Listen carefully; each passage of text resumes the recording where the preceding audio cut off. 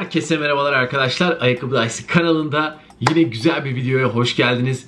Bu tarz videoları çok seviyorsunuz. Yapması biraz zor oluyor, editlemesi biraz zor oluyor ama ben de sizlere sunmayı çok seviyorum. Bir güzelliği de bu videoların henüz belki incelemediğim veya incelemeyeceğim bazı ayakkabılar hakkında fikirlerimi beyan ediyorum. Bugün ne yapacağız arkadaşlar? Bugün uygun basketbol ayakkabılarını internetten nereden alırız? Hangileri var? Hangisi mantıklı bir tercih? Nedir ne değildir? Bunlara biraz bakacağız.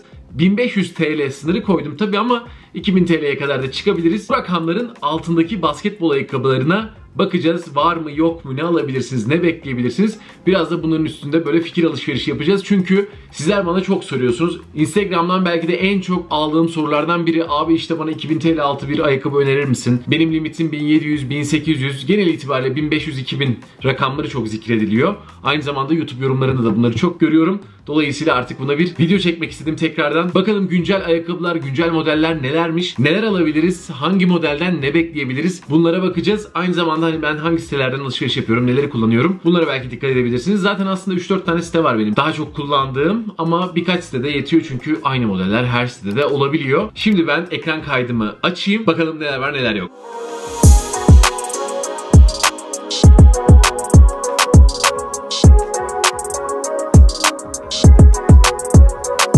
Her zaman olduğu gibi yine Nike sitesine giriyoruz arkadaşlar. Benim en çok kullandığım sitelerden biri. Hemen erkek bölümünden basketbola giriyorum arkadaşlar. Genel itibariyle benim sık kullanılanlarımda bile var. Dolayısıyla hemen tıklıyorum buraya geçiyorum. Sizlere de tavsiyem o olur. Ne var ne yok genel itibariyle çünkü İlk burada çıkıyor ve daha sonra da Türkiye'ye dağılıyor. Burada olmayan veya buraya önce gelmemiş modeller olmaz genel itibariyle. Hep buradan bulursunuz. Yani bu siteler dışında da çok fazla işte birkaç tane daha belki şu an açmadığım site olur ama güvenmeyin derim, alışveriş yapmayın derim. En çok gelen sorulardan bir diğeri de oluyor. Abi bu site güvenilir mi? Abi bu nasıl? Abi şu nasıl? Yani çok fazla açılmamakta fayda görüyorum bunlarda. Ayakkabılarımıza bakalım. Nike Cosmic Unity 2 gelmiş arkadaşlar. Evet bugün bana çok fazla DM gelmişti. Abi Nike Cosmic Unity gelmiş. Bunu hemen incelemelisin. İncelemezsen evini basarım. gibi şeyler. Cosmic Unity 1'i incelemiştim ve çok beğenmiştim. Açıkçası bunu hiç beğenmedim. Bir de şöyle bir sıkıntı var arkadaşlar. Fiyatı 2900 lira. Artık 150 euro üzerindeki siparişler ithalat kanunuyla alakalı bir şey. Yani gümrükte alıkoyabiliyorlar veya geri dönmesi gerekiyor. Böyle olunca Nike paranızı bir süre iade edemeyebiliyor. Yani bunu yakın zamanda almam zor. Belki Türkiye'deki sitelere gelirse olur ama çok çirkin bulduğumu söylemem lazım. Neyse konumuzdan dağılmayalım ve bizim 1500 TL bandında ayakkabı arayışımıza dönelim. Yanis Immortality 2 gelmiş arkadaşlar. Bunu çok soruyorsunuz. Bir tık bunu açalım. Neler var da devam edelim. KD15 zaten incelemesi kanalda mevcut biliyorsunuz. PG6 yine kanalda mevcut bir ayakkabı incelemesi. Oldukça da güzel modeller bunlar. Kyrie Infinity kanalda mevcut. LeBron 19 Low almak istediğim ayakkabılardan ama yine fiyatından dolayı bir türlü sipariş edemedim. Gelmeyeceğini düşündüğüm için ama merak ediyorsanız LeBron 19'u izleyebilirsiniz. Aşağı yukarı aynı olacaktır bunların performansı. Yani yine kanalda mevcut bir ayakkabı diyebiliriz. Aynı şekilde LeBron 19 fiyatlar yalnız gerçekten arkadaşlar Artık ne yapacağız bilmiyorum ama yeni ayakkabılar nasıl alacağız, nasıl edeceğiz? Ya gerçekten uçuk kaçık bir yere gitmeye başladı. Neyse şurada 1450 euroluk bir model görüyorum. Nike Renew Elevate 3. Şuraya bakın eskiden 1450 dedik mi o abi ne yaptın ya falan filan derlerdi. Jordan'ları, LeBron'ları bu fiyatları alırdık. PG6'nın güzel bir rengi. Bu arada arkadaşlar PG6'nın harika renkleri oluyor. Ne diyorsunuz? Ben aşırı beğeniyorum gerçekten. Bir tane daha falan alasım var. Şu modeli çok beğenmiştim Level 19 Low'da. Ama yine işte dediğim gibi fiyattan dolayı sipariş etmedim. Freaklerimiz aynı şekilde Freak 3 incelemesi kanalda mevcut. Jordan aynı şekilde mevcut. Low veya high çok fark etmez. Çok bunlara takılmayın arkadaşlar. Low ve high modellerde performans olarak hiçbir neredeyse farklılık olmuyor. Çünkü neredeyse aynı şeyleri kullanıyorlar. Sadece bilekli bileksiz farkı olduğunu düşünebilirsiniz. Zion 2 geçenlerde yaptık detaylı performans incelemesini de. Bakalım bakalım neler var. Yine Immortality'ler görüyorum. Zion 1'ler. Güzel şu rengi de bayağı beğeniyorum. Low Luca'lar var. Jordan Why Not'lar var.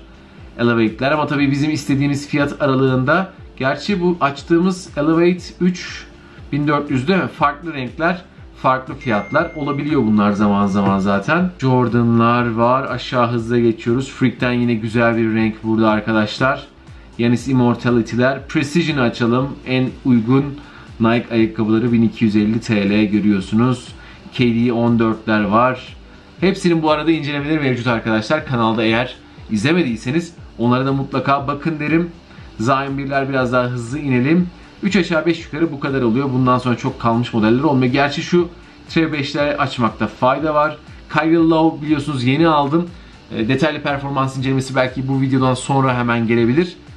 E, geliyor yani onu da merak etmeyin. Flay Trap'i açalım. İyi buradan bayağı bir uygun modelde bulduk. Yani bu seviyede gezinebiliyoruz en azından. Bu da güzel bir şey.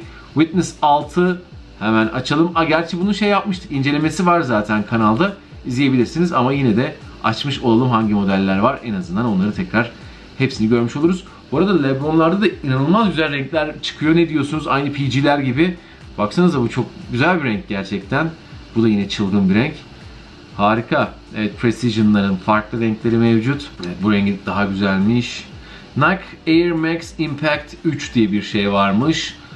Evet pek arkadaşlar alıp incelemeyi sevmiyorum. Sizler de biliyorsunuz zaten. Hani Why Not'lar varken, Zayn'lar varken yani daha isimli ayakkabılar varken onları alıyorum çünkü daha fazla teknoloji barındırdıkları için ve ben onları giymeyi sevdiğim için aslında. Yani bunlar biraz daha sade ve basit oluyor. Açıkçası ne olduğunu hemen anlayabiliyorum. Ayakkabıyı gördüğüm zaman ne bekleyeceğimi anlıyorum. Ama bu isimli ayakkabılarda en azından bir tık daha şaşırtıcı, daha kaliteli, daha farklı materyaller kullanılıyor. Dolayısıyla incelemek daha bana keyif veriyor diye düşünebilirsiniz. Evet hemen Nike Yanis Immortality'yi açalım. Biliyorsunuz Immortality 1'i yani ilk modelini kanalda inceledim ve detaylı performans incelemesi var. Açıkçası ben hiçbir farklılığının olmayacağını düşünüyorum performans olarak. Onu beğenmiştim, fena değildi. Tabi beğenmediğim yönleri vardı ama bütçeli bir modelden beklenen işte yastıklama olsun veya bu arka bilek tutuşu olsun güzel noktaları vardı. Çok fazla değiştirmemişler arkadaşlar. Aynı şeyleri tekrar ısıtıp ısıtıp önümüze çıkartıyorlar. Hem alamayanlar için numarası bitmiş artık çünkü olmuş oluyor. Burada tekrar alma imkanı bulabiliyorsunuz. Bu resimler de gayet bizlere yardımcı oluyor. Ben şahsen bunu gördüğüm zaman ha şuradan şunu beklerim, buradan bunu beklerim diye düşünüyorum. Dolayısıyla yani bu ne kadar öneriyorum bunu onu merak ediyorsanız normal Yanis Immortality modelinin videosuna girip izleyebilirsiniz. Teknoloji olarak dediğim gibi çok bir farklılık olmayacaktır. Taban yapısını zaten aynı kullanmışlar. Üstteki materyaller yine aynı aşağı yukarı. Dolayısıyla bundan ne bekleyeceğiniz zaten aşikar. Bunun arka kısmını biraz beğenmiştim. Bir de şu arkadaki arkadaşlar zigzaklı desenleri beğenmiştim. Bakın aynı neredeyse. Ben ilk tekrar çıktığı zaman ya dedim bu şey mi? Yani Immortality'yi tekrar mı getirdiler? Ama güzel mi? Fena değil bence. Zaten beğenmiştim. Beğenmediğimde bir ayakkabı olmamıştı. Beğenmediğim yönlerinin dışında ama rahatlığı güzeldi. En azından yastıklaması biraz iyiydi. Bu arada yeni model yani Freak modellerini de çok aşırı beğenmiyorum.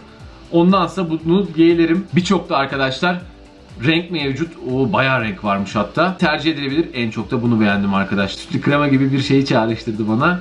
Keyifli, güzel bir ayakkabı olacak. Evet ilk modelimiz böyleydi. Hemen ikincisine bakalım. Yine Nike'dan devam ediyoruz. Nike Renew Elevate.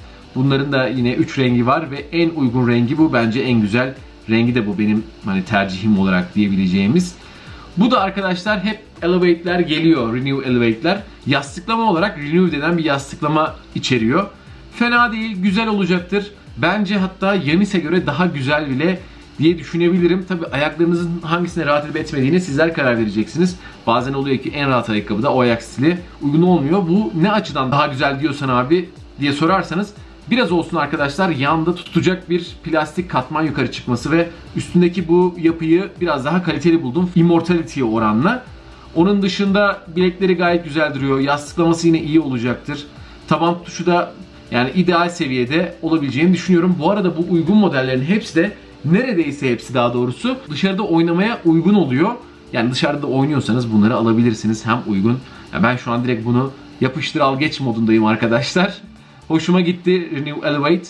Yani çok aşırı tabii en düşük bütçeli model olunca en her şeyin uygunu ve en basiti ucuzu kullanılıyor bu ayakkabılar üstünde. Ama şu anda bu ayakkabı en azından Yenis'e göre daha güzel olacak Yenisi Mortality'ye göre. Çünkü onun bir ismi var. Yani bir oyuncunun ismi olduğu için biraz daha fiyatı artıyor.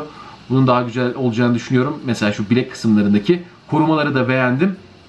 Yastıklaması da Renew fena değildir. Küçük miktarlarda kullandıkları için sıkıntı oluşturabilir ama yine bence bunu da alabilirsiniz diyorum. Hemen Precision'lara geçelim. Yine bu da hatta bu daha uygunmuş.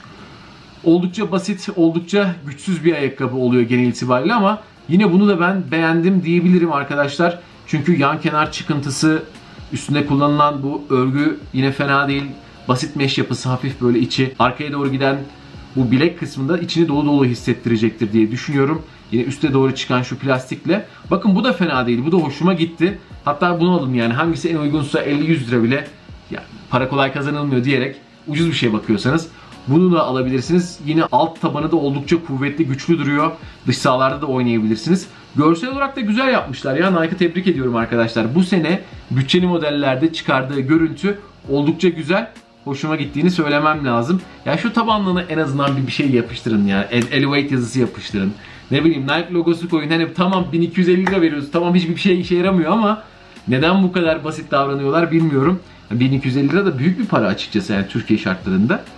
Yani bilmiyorum ilginç yani. Veya bir sınıf farkı oluşturmak istiyorlar arkadaşlar. Daha pahalı, daha güzel ayakkabılarda birçok şey sunarken bunda hiçbir şey sunulmuyor. Bakın bu görselden birçok şey anlaşılacaktır. Hoşuma gitti, fena olmayacaktır. Yani şu yapı pek sevmediğim bir yapı. Biraz daha hızlı bozulan ve tahminim çok hızlı şekil değiştiren parmaklarınızın uçları böyle belirli, belli olabilir. Yani onun dışında şu üst kısımlarını beğendim. Dil yapısı ve arkasındaki bilek yapısı da yine güzel duruyor. Evet bu da gayet alınabilir bir model. Evet bir dandiklik akıyor üstünde. Özellikle şu plastikleri de hiç sevmiyorum. Çok dandik koyuyorlar. Neden biraz daha kuvvetli bir şey koymazlar? Yani 2 sent daha harcayıp işte ama böyle yapmışlar ne diyelim. Evet bu da güzeldi. Şu ana kadar baktıklarımızı beğendiğimi söylemem lazım arkadaşlar. Yenisi bunlara nazaran daha az beğendim. Bunlar gayet güzel. Kelitre 5'e geçelim. Fazla renk kalmamış, fazla model kalmamış ama belki başka sitelerde bulabilirsiniz. Kelitre 5'ten hatırlarsanız yine kanalda incelemeleri olan ayakkabılar var. 10 olmasa da önceki versiyonlarından incelemiştim. Ona bakabilirsiniz. Bir tık daha iyi oluyor. Özellikle bu üstündeki askı yapısıyla daha iyi kitlenebilirsiniz ki ucuz ayakkabıların belki problemleri bunlardır. Yani kitlenme, fitlenme, ayağınızın içeride sabit, stabil duruyor olması. Bu noktada bakın hoşuma gitti KD 5 bu çıkıntıyla ve bu arkadaki bilek yapısıyla sizlerin ayağını da iyi koruyacaktır. Genel itibariyle bunun yastıklaması çok iyi oluyordu. Hatta bir sıra baya baya tutmuştu. Herkesin ayağında K 5 görüyordum. Yine yastıklaması öyle güzele benziyor. Böyle pofur pofur Renew kullanılıyor arkadaşlar. Yine aynı bir önceki ayakkabılarda gördüğümüz yastıklama kullanılıyor. Hepsinde Renew olmasa da bunda Renew var. Tabi hepsinin kimyasalı da farklı. KD5'te kullanılan kompozisyon oldukça güzel. Tabanı da güzel. Yalnız bu dışarıda hızlı eskiyecek gibi dursa da yine tercih edilebilir. Sniper yazılmış. Vay güzelmiş. Şurada da KD-5 yazısı gözüme çarptı. Evet bakın ben bunu da beğendim.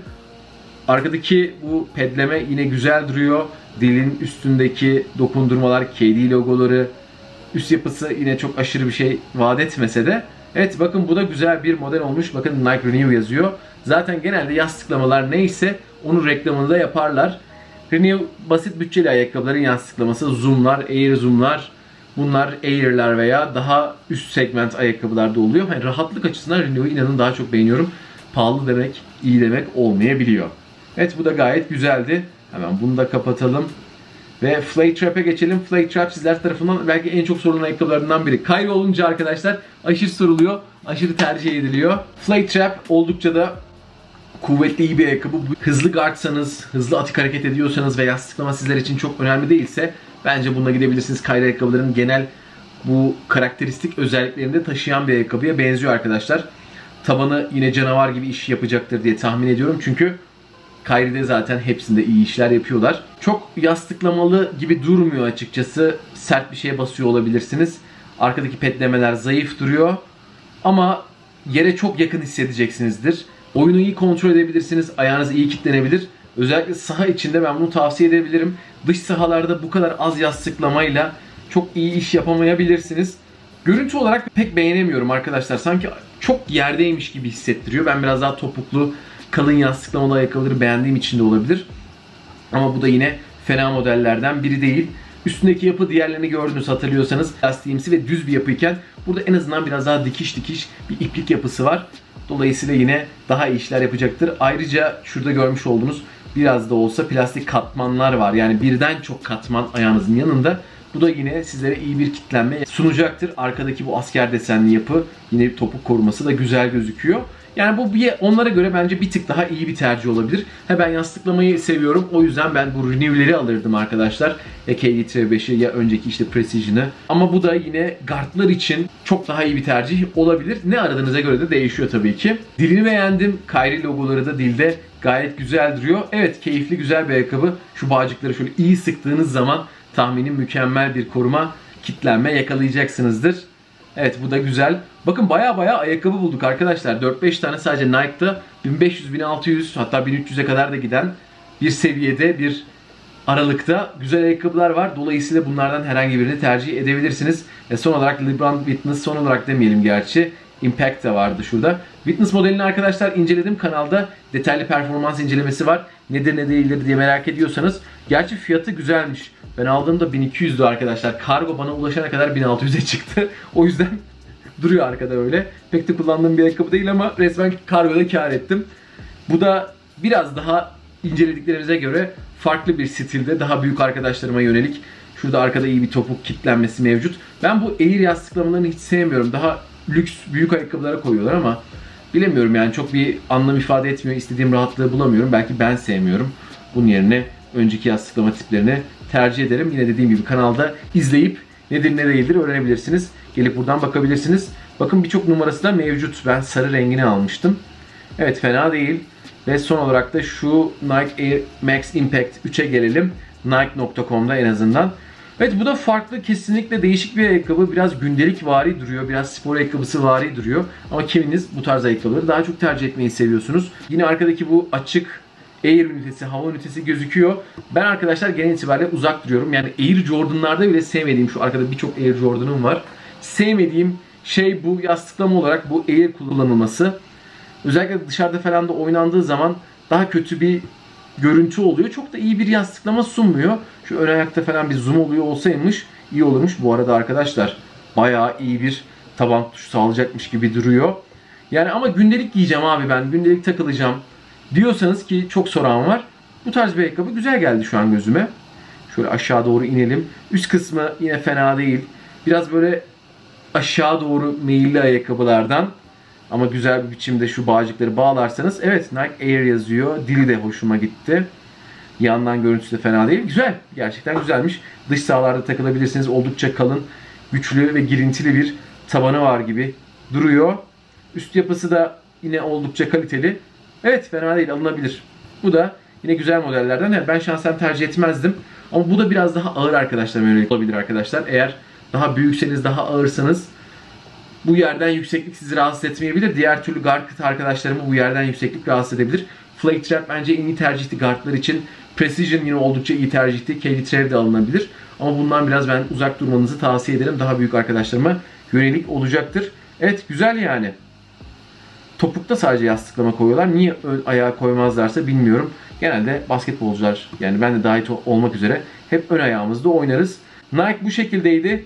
Şuradan çıkışımızı yapalım. Onun dışında tabii ki güzel daha pahalı ayakkabıları da merak ediyorsanız o farklı bir videonun konusu olsun deyip Nike'ı kapatalım ve dedim ben bayağıdır Adidas'a bakmıyorum. Yine normal adidas.com.tr'den erkek deyip basketbola laps diye gelince arkadaşlar nerede? Şurada basketbola gelince bu sayfa önüme düştü. Burada da Harden Step Back 3 hemen ilk sırada bizleri karşıladı. Bunları niye buraya koyarlar anlamıyorum ya. Forum No ayakkabı. Hayatta ben basketbol oynamamızı tavsiye etmem ama burada çıkıyor. Şunu çok beğendim açıkçası. Neymiş? Night Ball. Nite Ball artık nasıl okuyorsanız. 2.0 bakın bu çok güzel. On the Game bayağıdır piyasalarda. Bayağıdır var. Hala da devam ediyorlar. Forum Love çok değişik. Hoops Lifestyle bunlar basketbol olduğunu düşünmüyorum. On the Game çıktı yine. On the Game'in farklı. Sirkoloko Forum demiş. Bu da iyi olmayacaktır. O Son of Chi, D-Rose. D-Rose serisi sallantıda bir seri ama bu Son of Chi yapıyorlar. Geçen sene bir de şimdi ikisi gelmiş. Ama biraz fiyatı pahalı. Bakmak için kenarda yine de açtım bunu arkadaşlar. Aşağı inelim. Dan Issue 3 var. 1600 lira. Bakın şu çok hoş. Trae Young 1700 lira. Aa bunlara resmen zam gelmemiş veya unutmuşlar bunları. Veya hiç numarası da kalmamış olabilir. Ben bunlar 2.5'ları falan buldu diye düşünüyordum. Dame var yine 1750. Aa çok iyi arkadaşlar şu an mutlu oldum. Çünkü imzalı isimli bakın 3 tane basketbolcunun NBA oyuncusunun basketbol ayakkabıları var. Ve 1700 liralar Diğer şu ana kadar gösterdiklerimi çöpe atabilirsiniz, unutabilirsiniz.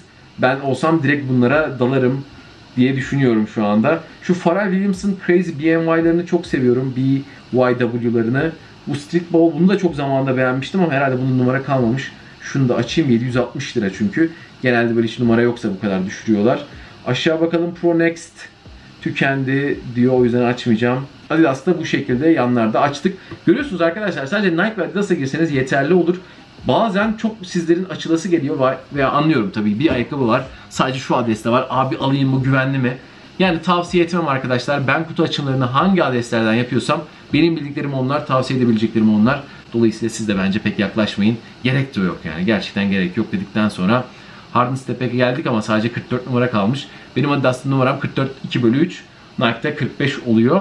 Harden Step 3 yine sorulan ayakkabılardandı. Çok bunlar büyük release'ler olmuyor yani büyük ve çok sayıda satışa sunulmadığı için yani çok istekli olmuyorum bunları incelemek için. Hani nasıldır diye soruyorsanız arkadaşlar Step Back 2'yi hatırlarsanız çok iyiydi. Aşırı memnun kalmıştım ve beni şaşırtan bir ayakkabıydı. Dikkat ederseniz fiyatına diğer imzalı ayakkabılardan pahalı zaten. Gerçi son dönemde çıktığı için de olabilir. Ama yine Step Back 3 de sizlere çok iyi bir taban sunacaktır. Şu tabanın güzelliğine bakar mısınız zaten? Harika bir taban yapmışlar. Yastıklama olarak ne kullanmışlar onu merak ediyorum. Bounce mu kullandılar? Yani güzel bir köpük kullanmışlardır. Ben Adidas basketbolda daha rahat ettiğimi söylemem lazım. Biraz daha geniş oluyor arkadaşlar şurada gördüğünüz gibi. Yana çıkıntıları daha iyi oluyor.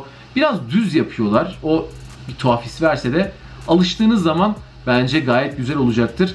Şu an tabi sadece 44 numara var ama baş tabanı bayağı beğendim. İyi bir kitlenme olacaktır arkadaşlar. Bağcıkların geçtiği yerler. Evet kesinlikle iyi bir ayakkabı. Bunda bounce kullanmışlar. Bakın bounce orta tabana sahip, hızlı tepki veren. Evet yani Harden Step Back 2'yi izleyebilirsiniz. Hani nedir ne değildir en azından benim sözlerimi duymak istiyorsanız detaylı bir inceleme yapmıştım. Güzeldi. Ondan farklı olacağını düşünmüyorum. Ondan kötü olacağını düşünmüyorum. Öyle söyleyeyim.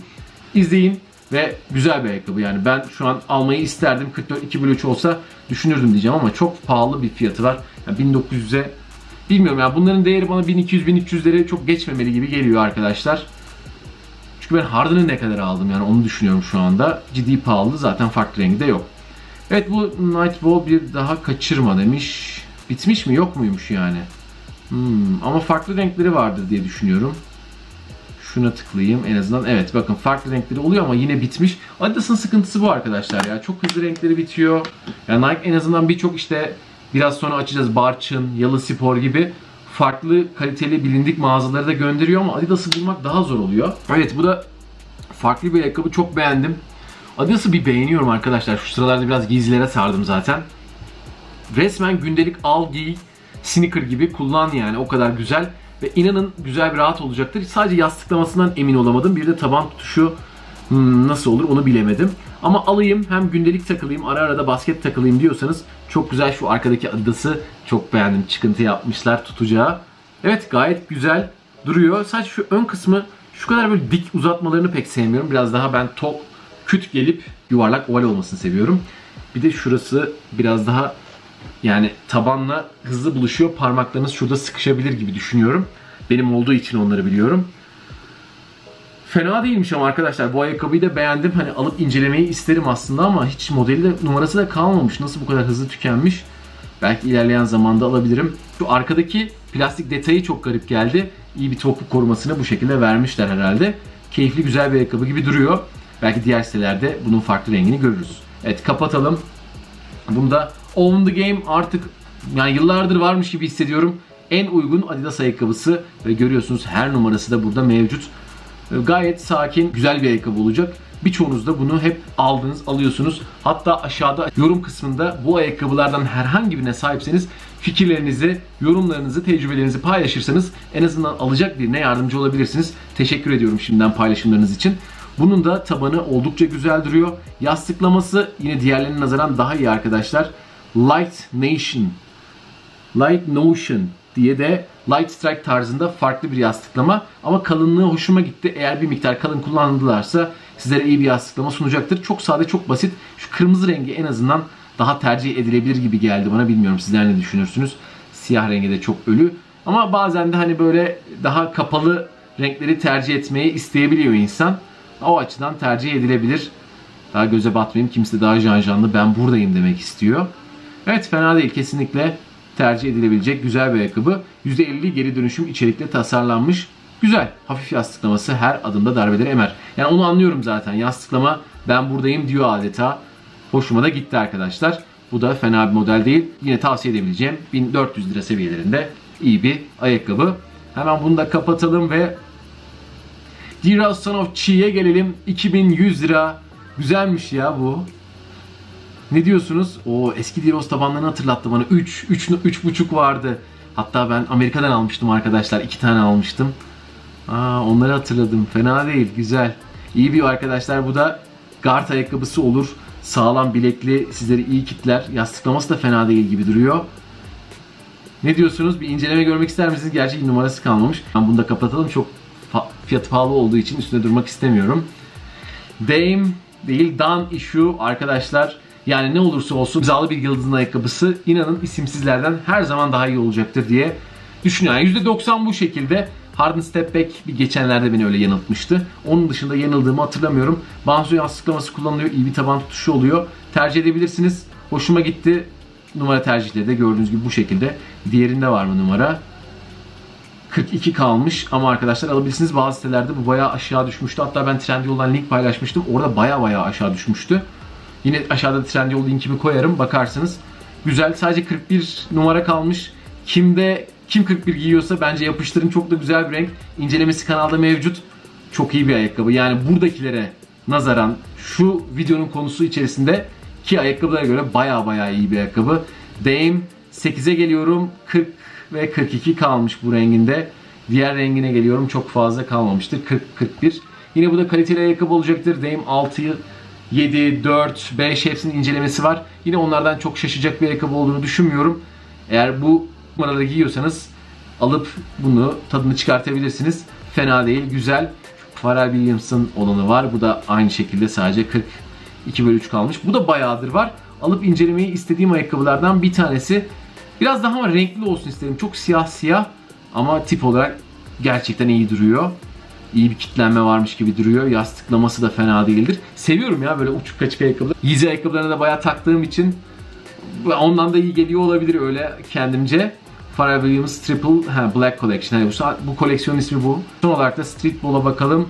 Beden 54 ve 55 ve 760 lira olmuş. Tahmin ettim 760'a böyle düşünce çok az numarasının kaldığını ama bana bazen soruyorlar abi nereden bulabilirim, nereden bulabilirim? Şu kadar numara tercihi olan bir ayakkabı daha önce gördüğümü hatırlamıyorum arkadaşlar.